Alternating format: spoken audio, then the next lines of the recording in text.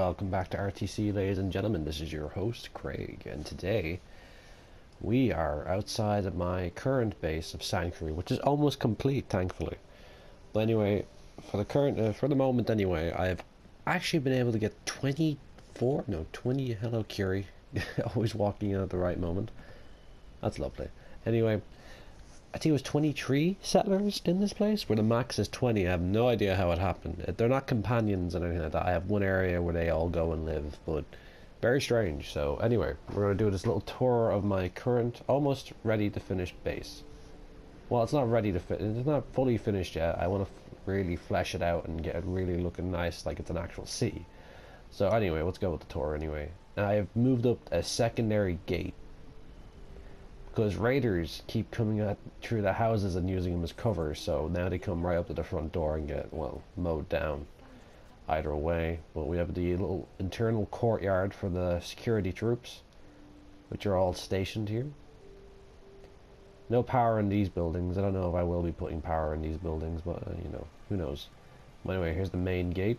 We're coming up right now into it's early morning in the game right now but anyway, over here, I want to go over here real quickly. This is the town armory slash power armor depot for the security units. So on the right here, we have three sets of T60 military power armor. And a whole crap load more over here. I think we literally have one more space till I finish with the T60 series of supplying my troops with them. Anyway, yeah, this is it. Like this, uh, showed you these boxes. Like, uh, not too many heavy weapons Lots of grenades and mines. Lots of sniper rifles and different kinds. Different melee weapons. Submachine guns. Different, uh, all, you know, different shotguns. All these different pistols here. A lot of these pistols. Lots of different assault and combat rifles as well. Uh, not many plasma weaponry. Lots of laser rifles and pistols and laser muskets. And lots of what's left of the Institute weapons anyway, which I might be handing out to some specialized troops of the town. But anyway, we're going to move through and see is there any movement at the moment. Up, we have a scavenger up ahead who will be giving a who will be given a uniform later on in the video not in the video but later on when I finish this video he's going to be acting as the town security force, which is good. There's Sturgis pretending to be a, tra a trader. Nice job, Sturgis. But over here we have these little trading caravan posts right now, outposts, which are quite cool. And they bring all the unique uh, traders to your town, and you can start like trading there, getting all the unique weapons that you want, so on and so forth. There's Carla still not sitting at the post there, but anyway, we have caravan guards. I mean, all the houses are still powered. Oh, that skeleton freaked me out for a second. Um, anyway, this building here, the flag on it and the power, blah blah blah blah. I've actually downgraded the artillery range to one due to I was running out of people, so I needed one more person to help with the security at the front gate. So we have only one artillery piece here in Sanctuary City. Keeps the people happy. He's just standing here enjoying himself. Pipe pistol out. But anyway, this building here is my workshop for power armor. Oh, well, before we continue on, here's the uh, memorial, uh, memorial for the uh, Minutemen. Oh, Curie. Anyway, yeah, here's the memorial for the Minutemen that I built a while back, and I, I think it looks great. I'm really pleased with it. Over there is my home slash uh, the command center for the Minutemen Army. And, uh, right, we're gonna go in here. Oh, no, we can't go in here. I'm sorry. We have to stay out. Just kidding. Anyway, we're going to open here. I haven't gotten much done, per se, for most of the armors. I have one more armor to go for the T60 series, which will be the last one supplied to this outpost, like the city. These two other suits of T60s will be moving on to different positions to help flesh out and fill up the other armories in my little mini outposts and so on. This is mine. I'm keeping this. This is T51B. I found a full set of it. It's military paint color. I like it. Well, anyway, and then we have another T-51 over there, T-45, Minutemen, two X-01s. Technically I have three, but the other one's in my home right now, but we won't be going over there just yet.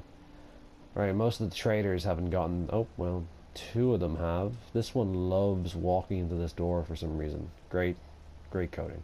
Just kidding, yeah. You know, there's always going to be a bit, a few weird moments with traders and stuff like that. But anyway, we hop in here. This is the full out, fleshed out bar that I built for my settlers, which they all actually come in here and use and sit down drink and eat, smoke cigarettes. You know, it's quite cool. Anyway, uh, we come over here. There's more Brahmin heads. We just have a little balcony out here where we can look at the beautiful, beautiful landscape. I thought there was a Deathclaw over there. It's just the trees moving. Anyway, oh, Curie just popped right there. That's great. Popped in. Anyway, let's continue on to my house. And we have three traders here right now, which is quite cool. It's kind of handy. Quite nice with the clinic, we have the general trader, and then we have the clothing trader. But anyway, let's head into my home, which is counts as an office slash mini appeal, uh, uh, like mini clothing armor armory. I keep the weapons and the clothing separate because it's much easier to go through in the long run. Everything has a category like fatigues, different kind of hats, all that stuff, the Brotherhood kind of stuff, and the, and the Institute actually as well. A little spoiler, clean room suits, watch out. Lots of uh, different kind of, um, you know, just different uh, uniforms and gear, more uniforms and armor here. You know, just to flesh it out and try to make it look nice. Does anything in these? Oh yeah, some unique armors are in there. My kitchen. Oh, sorry, apologies. Uh, it's quite late over here doing this video, but anyway, here's the third set of X-01 armor, which I love. It's absolutely fantastic. Fantastic. I'm going to take that out, just in case someone runs up here and takes it. But anyway, yeah, I'm connected to all power. The wiring is hell in this place. It's very hard to wire. I'm not very good at it still just yet, but I'm enjoying it. And uh, right, we come up here to the roof. Uh, originally, this this recruitment beacon kept everything powered in my house, so I had to wire it this way. I kind of it's nice. I like the effect of it. It's quite cool. But anyway, we're gonna look over the over everything right now. Like my little small city is growing, thankfully. I use the foundation walls as the main ones. Oh yes, I've expanded over here as well to try build more crop, uh, more proper crop area, which would be quite helpful to get food and supplies out to the rest of my settlements, which only have mini farms that keep their population afloat. But anyway, oh, pardon me. Now there's the bobblehead, bobblehead collection. Lots and lots of my comic books here on display. But anyway, uh, everything's here pretty much sorted out. Uh, so far, I've been messing around with the game, and I'm going to give it an honest review during the week, which is just me talking about the game, its story, and so on and so forth. But, you know, mainly this video is for the tour only. Uh, is that a new trader that popped in?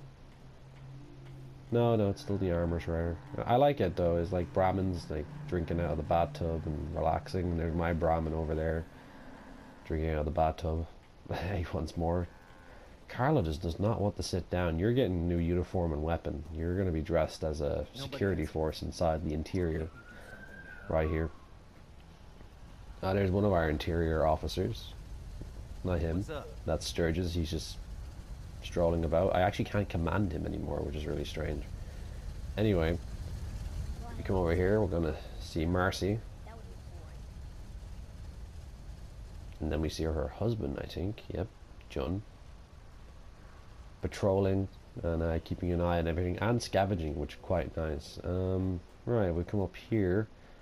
Later on during the, the, this time, I'm going to be setting up more guard outposts. So a lot of uh, most of the guards will run off and uh, start patrolling the town, and then head to these outposts for a little bit and guard them. But this is really good. I'm enjoying this. I'm, I'm enjoying this game way too much, to be honest like all the lights and the, the power and everything like that resources uh, you know I literally had to bin and like not use any resources for so long to get most of this concrete which is pretty good Marcy just hammering away fixing that house nice job Marcy they do that a lot like I would love to actually see if the house would be repaired properly but oh well you know I have to wait maybe updates anyway we're gonna come back to the front uh, the main gate to into Sanctuary City which is right here. And yeah, this is pretty much it. I'm still working on it. I'm going to have a full-fledged town soon. And uh, yeah, I hope you guys enjoyed this video, watching, uh, seeing my base and its uh, operations and how it's all working out. And I will see you guys next time on the next episodes of RTC with more news, updates, and everything else I do on this show as much as possible.